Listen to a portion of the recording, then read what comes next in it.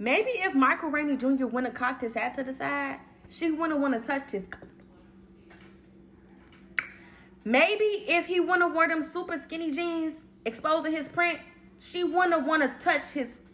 You know, because y'all said he on his talking. If the roles was reversed, if the roles was reversed, y'all would have been blaming it on what we wear or the thirst traps we post. So maybe Michael Rainey Jr. he shouldn't have been looking that good on that episode of Power that one time, and it would have triggered her to do that. I'm just saying, like black women, let's stay on point. Let's stay on cue. Y'all be rushing to the front lines for men who wouldn't do anything for us. And it's baffling to me. Like it's so many. But but to be honest, I get it. Y'all is pick Mishas. Y'all is pick Mishas. It's sad and pathetic. Y'all don't stand on business. I stand on business. I stand on big business. He shouldn't have been wearing what he was wearing. He shouldn't have turned his head to the side. He shouldn't have even been there looking that good. I'm just trying to make my motherfucking minute. Y'all done pissed me off.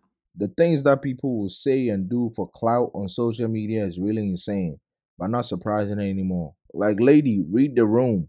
Tariq will be under the jail, cancelled, and the brother would have been wanting to fight the dude if the roles were reversed. She sound dumb as hell right now. So she think this is justified because people get online and victim blame women. Is that her logic?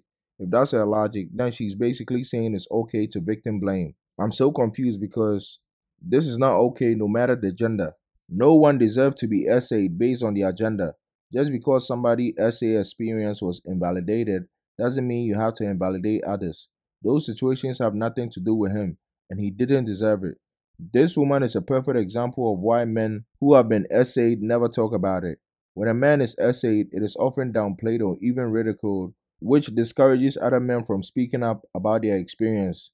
This promotes a cycle of silence and trauma, preventing victims from seeking the help and justice they deserve.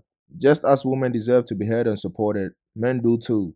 At the end of the day, man or woman, you should keep your damn hands to yourself.